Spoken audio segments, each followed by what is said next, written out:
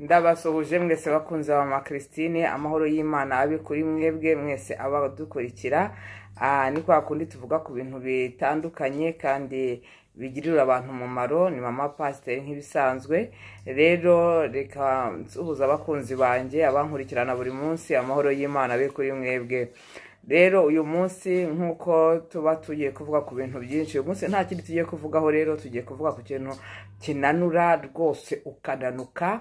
Iyo ugikoresheje nk'uko babikubwiye. Nta kindi rero ni amajyane tugiye kuvugaho. Ayo majyane akoze ibitangaza muri iki gihe. Ndagira ngo wumve ko noneho nawe wari ufite ikibazo cyo kunanuka icyo kintu cya icyo kibazo cyakemutse. Aya majyane arizewe aza ari amajyane mirongo itatu ariko akora ibitangaza. Mbere yo kuyakoresha urabanza ukipima ukareba ibiro wari ufite agukuraho ibiro wari ushaka kuvaho. Iyo rero ugenda wipima umaze wenda nk'iminsi itanu ku icumi uyanywa cumi n'itanu kuri makumyabiri uragerageza ukajya ugenda ureba urugero ugezeho ushaka urahagarara ariko iyo ugishaka gukomeza kunanuka yose urayanywa ukayamara. Ni meza cyane cyane nongeye nkubwire ngo ni meza. N'aya ndiho mvugiraho oredi umukiriya n'ay'umukiriya nuko nayavuzeho kuri sitati yanjye watsapu bakayakunda kubera ibyo akoze.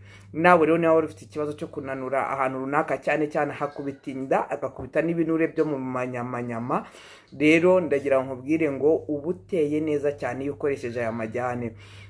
Aya majyane rero uyanywa ku mazi ashushe nimugoroba uhagarika kurya nka saa moya urayanywa nka saa tatu cyangwa saa yine ugiye kuryama.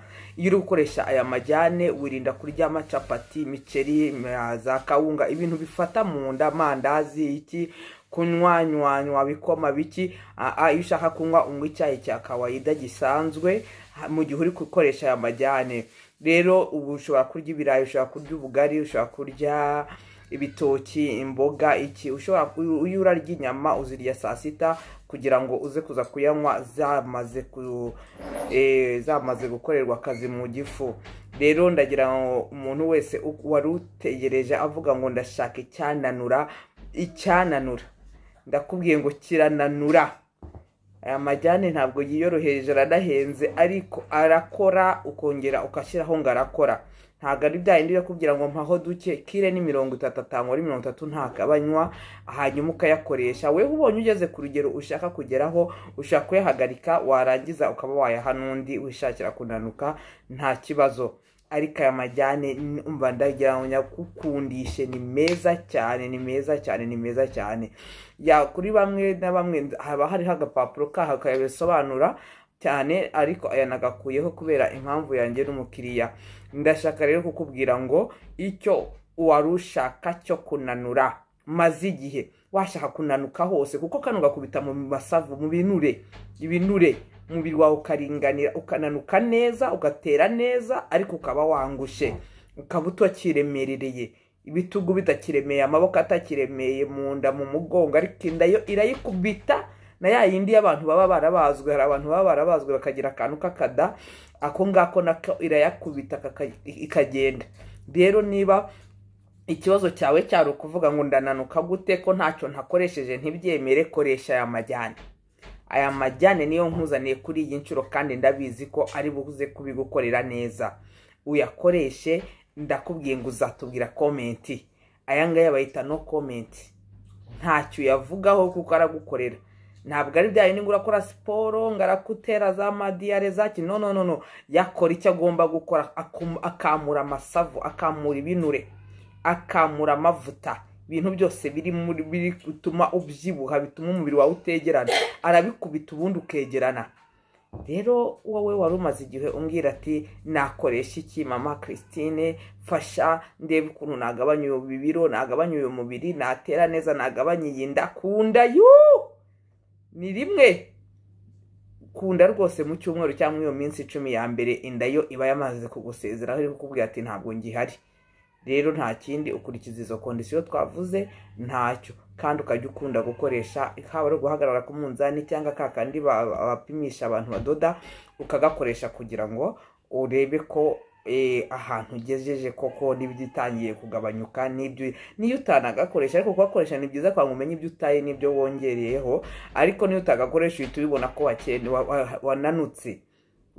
Wananutse pe. Aya majyana arabikora rero niba wari ufite ikibazo cyo kuvuga ngo ese byagenda gute? Nawe ukoreshe aya majyana.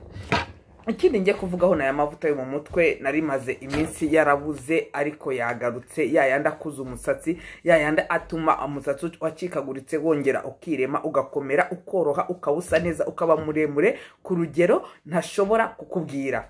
Niba rero wari ufite ikibazo cy'umusatsi ucikagurika ukaba wari ufite ikibazo cyo kumva umusatsi ari ubwoya ubona byarakurenze koresha aya mavuta. Ni meza cyane kuko nanjye narayakoresheje. Ntubure kuza kwikoreshereza amavuta yo mu mutwe wowe ufite ibyo bibazo.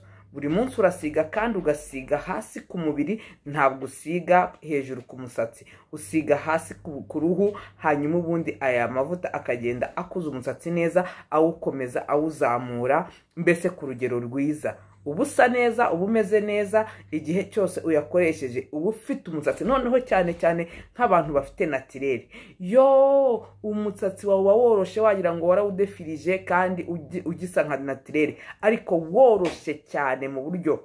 Rero ubwo yagarutse wihute aya niyo mavuta akibikora kandi akabikora neza ndetse ukaba usa neza ndetse umusatsi wawe akaba ari mwiza cyane. Ntureke gukoresha aya mavuta niba koko ufite ibibazo by'umusatsi wapfukaguritse ukikagurika ukomeye cyane udasokoreka umusatsi udakura umusatsi utagira gute. Kano kakuza umusatsi mu kwezi uba ufite umusatsi nawe ubwawe wibaza ati uyu musatsi nawukuye hehe? Wegeranye woroshye mwiza w'urukara ndagira ngo nkubwire ngo koresha aya mavuta ubwo abonetse ntutangwe nawe kuyakoresha. Aya mavuta ku bantu bakeneye ko umusatsi wabo umera neza baba bafite imisatsi ku mutwe baba bumva baguwe neza ku mutwe koresha aya yagarutse igihe rero iyo mbabwiye ngo ikintu cyaje ujye ushaka jya ugifata hakiri kare cyangwa se uvuga ati mbikireho rwose nanjye ndabikeneye wenda nyuma y'icyumweru cyangwa ukwezi ndayafata. Kuko hari igihe ugaruka kubimbaza ugasanga bitagihari ukababara ariko nta kundi ibintu bikora biba biri kurwanirwa. Nawe rero wari wifitiye icyo kibazo cyo kuba ukuntu wakuza umusatsi wawe umusatsi waranze warabaye utujwiri hey! Umuti wabyo wabonetse. Ntiwongere kubaho mu buzima bw'ubujwirijwiri ahubwo koresha amavuta nawe uhindurirwe amateka nawe wishimira umusatsi wawe. Buri muntu wese ajya kuba ngo wawu mbega umusatsi. Yo dore we ndebera uko bimeze. Nanjye nayashyizemo rimwe nzabakorera akavidewo nawe usokoje urebe ukuntu umeze kandi ni natirere ndashaka kubwira rero ngo ni meza wongereho ngo ni meza. Uyafite nta gihombo nta kwicuza kuko uba ufite icyo uba ugomba kuba ufite. Rero ndagushimiye wowe udukurikirana ukometinge urayikinge usabusikayibinge ukore buri kimwe cyatuma igihe cyose dushyizeho videwo uyibona. Ntucikwe iyi ni iminsi mikuru uba usa neza kandi mbifurije umwaka mwiza muzawurye uzababera uw'amahoro iminsi mikuru izaba myiza kuri mwese murakoze.